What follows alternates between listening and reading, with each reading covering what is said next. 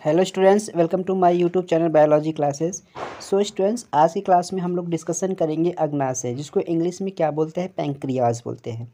तो इससे पिछले वाले क्लासेस में मैंने आपको पढ़ाया था यकृत के बारे में। तो आज की क्लास में हम डिस्कशन करेंगे कि अग्नाशय क्या है। तो चलिए देख लेते हैं अग्नाशय के मुख्य बातों को। तो चलिए सबसे पहले मैं बता दूँ कि अग्नाशय जो होता है, अग्नाशय हमारे शरीर की क्या है? दूसरी सबसे बड़ी क्या होती है? तो दूसरी सबसे बड़ी ग्रंथि होती है। तो जैसा कि आपको पता है कि अग्नाशय जो होता है, ये हमारे शरीर की क्या है? दूसरी सबसे बड़ी ग्रंथि है। तो सबसे पहली ग्रंथि कौन सी है? तो हमारे शरीर की सबसे पहली बड़ी जो ग्रंथि होती है, वो यकृत होती है। मैंने आपको यकृत वाला क्लास जब लिया था तो यकृत वाले क्लासेस में मैंने बताया था कि यकृत जो होता है, ये हमारे शरीर की क्या होती है, सबसे बड़ी ग्रंथि होती है। तो अगर आप यकृत वाले लेक्चर को नहीं देखे हैं तो डिस्क्रिप्शन पे लिंक दिया गया है, आप वहाँ जा कर के उस क्लास को देख सकते हैं, ठीक है? तो अग्नाशय हमारे शरीर की क्या है? तो अग्नाशय हमारे शरीर की दूसरी सबसे बड़ी क्या होती है? ग्रंथि होती है। सभी को समझ में आ गया? ये क्या है? दूसरी सबसे बड़ी ग्रंथि होती है। और दूसरी पॉइंट क्या बताएँगे? यह ग्रहणी से क्या होती है? जुड़ी होती है। किससे जुड़ी होती है? ग्रहणी से क्या होती है? जुड़ी है। तो ग्रहणी आपको पता है, ये इस प्रकार से क्या होता है? अंग्रेज़ी अक्षर की सी आकृति की होती है, ऐसे जो होता है, ये इस प्रकार से इसकी स्ट्रक्चर बनी होती है। तो हम कह सकते हैं कि अग्नाशय जो होता है यह हमारे शरीर की क्या है, सबसे बड़ी ग्रंथ दूसरी सबसे बड़ी ग्रंथि होती है, जो किससे जुड़ी होती है तो जो ग्रहणी से क्या होती है, ग्रहणी से जुड़ी होती है। तो ग्रहणी इस प्रकार से ऐसे अंग्रेज़ी अक्षर की सी आकृति की होती है, और इसमें इस प्रकार से जो होता है, ग्रहणी अग्नाशय क्या होता है, ऐसे पत्ती की तरह क्या होती है इसमें संरचना इस प्रकार से बनी होती है। तो यही जो होता है ये किसको क्या कहते हैं, ग्रहणी कहते हैं। ठीक है? तीसरी पॉइंट क्या बताएँगे? इसकी संरचना कैसी होती है? तो इसकी संरचना पत्ती या मछली की तरह होती है। तो अभी मैंने संरचना बना के दिखाया। तो इसकी संरचना कैसी है? तो पत्ती या मछली की तरह क्या होती है? पाई जाती है। और उसके बाद फोर्थ पॉइंट बताएँगे कि यह जो होता है, क्या होता है? ये गुलाबी रंग का होता है। ठीक है? चार पॉइंट समझ में आया? अग्नाशय हमारे शरीर की दूसरी सबसे बड़ी ग्रंथि है। फिर बताएँगे कि यह क्या होता है? यह ग्रहणी से जुड़ी होती है। तीसरी पॉइंट इसकी संरचना कैसी होती है? तो यह पत्ती या मछली की तरह होती है। फिर चौथे पॉइंट में क्या बताएँगे? यह गुलाबी रंग का होता है, ठीक है? और उसके बाद पाँचवें पॉइंट क्या बताएँगे? इसकी लंबाई कितनी होती है? तो इसकी लंबाई जो होती है, ये बारह सेमी होती है और चौड़ाई कितनी होती है? तो चौड़ाई जो होती है, चौड़ाई यहाँ पर कितनी होती है? चार सेमी होती है, ठीक है? तो इसकी लंबाई कितनी होती है? बारह सेमी और चौड़ाई कितनी होती है? तो इसकी जो चौड़ाई होती है, वो चार सेमी होती है। सबको समझ में आ गया? यानी अग्नाशय जो होता है, अग्नाशय जो होता है, इसकी लंबाई कितनी होती है? बारह सेमी होती है और चौड़ाई कितनी होती है? चार सेमी होती है। और इसका जो वज़न होता है, वो कितना होता है? तो इसका वज़न साठ से कितना? तो साठ से नब्बे ग्राम का होता है। अग्नाशय का जो वेट होता है, कितना होता है? तो साठ से नब्बे ग्राम जो होता है, इसका वज़न होता है। तो ये सारी बातें आपको समझ में आई? चलिए आगे आगे हम बताएँगे कि अग्नाशय जो होता है, अग्नाशय को मिश्रित ग्रंथि कहते हैं। मतलब अग्नाशय जो होता है, अग्नाशय को हम मिश्रित ग्रंथि कहते हैं। क्यों कहते हैं? क्योंकि अग्नाशय में दो प्रकार की क्या पाई जाती है? तो दो प्रकार की ग्रंथि पाई जाती है। मतलब ये जो पैंक्रियाज है, पैंक्रियाज को हम लोग मिक्सचर ग्लैंड्स कहते हैं। मिक्सचर ग्लैंड इसलिए कहते हैं क्योंकि इसमें दो प्रकार के ग्लैंड पाए जाते हैं। मतलब अग्नाशय को हम मिश्रित ग्रंथि कहते हैं और मिश्रित ग्रंथि कहते हैं इसलिए क्योंकि इसमें दो प्रकार की क्या पाई जाती ग्रंथियाँ पाती है। पहला जो होता है बायस्त्रावी होता है, दूसरा क्या होता है? अंतस्त्रावी। तो पहला बायस्त्रावी ग्रंथि होता है, दूसरा क्या होता है? अंतस्त्रावी।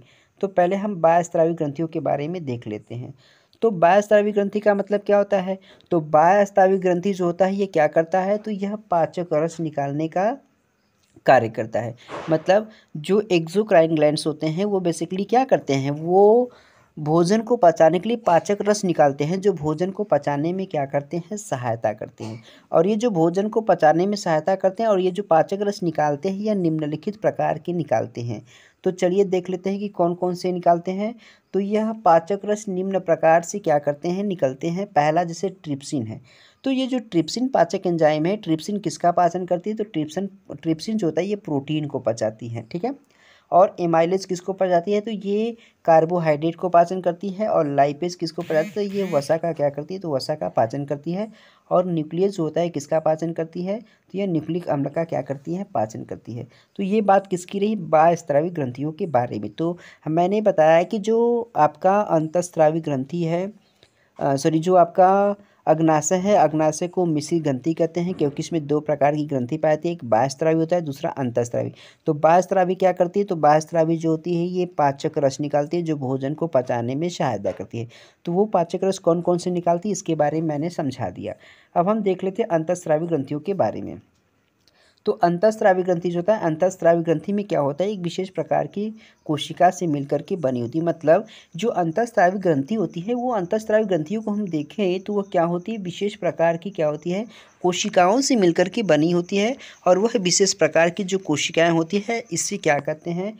लैंगर हैंस की दीपिका कहते हैं। तो ये जो लाइनिंग है, लैंगर हैंस की दीपिका बहुत इंपॉर्टेंट है। बहुत सारे पेपर में पूछता है कि लैंगर हैंस की दीपिका पाई जाती हैं। ऑप्शन दे देता है, ऐसे अग्नाशय है, ऑस्ट्रेलिया है, जापान है, चीन है, ऐसे करके दे देता है। तो बहुत सारे लोग इसको जो है कि ऑस्ट्रेलिया में मार देते हैं। तो लैंगर हैंस की दीपिका जो है, यह किसी द्वीप का नाम नहीं है, बल्कि लैंगर हैंस की दीपिका जो है, यह एक प्रकार की कोशिका होती है, ठीक है, जो कि अंतस्त्राय ग्रंथियों में क्या होती है, पाई जाती है। चलिए, आगे की तरफ़ देख लेते हैं इसमें। अब देखिए, यह तीन प्रकार की कोशिका से क्या होती है, बनी होती है। मतलब जो लैंगरहंस की दीपिका है, यह भी क्या होती है? तो यह भी तीन प्रकार की कोशिका से मिलकर के क्या होती है, बनी होती है। पहला हो जाएगा अल्फ़ा कोशिका हो जाएगा, दूसरा क्या हो जाएगा बीटा कोशिका हो जाएगा, तीसरा क्या हो जाएगा गामा कोशिका हो जाएगा। तो अल्फ़ा कोशिका से क्या होती है? अल्फ़ा कोशिका से हार्मोन्स निकलती कौन से? तो अंतःस्त्रावी ग्रंथियाँ जो थी वो हार्मोन्स निकलने का कार्य करती है। अंतःस्रावी क्या निकलती हैं? हार्मोन्स निकालने का क्या करती है? कार्य करती हैं। तो अल्फ़ा कोशिका से देखिए क्या निकलता है? अल्फ़ा कोशिका से इंसुलिन नामक हार्मोन्स निकलता है, बीटा से ग्लूकेगान निकलता है और गामा से क्या निकलता है? तो गामा से जो है वो सोमेटोस्टैटिन नामक क्या होता है? हार्मोन्स निकलता है। ठीक है, कौन सा हार्मोन्स निकलता है? सोमेटोस्टैटिन नामक हार्मोन्स निकलता है।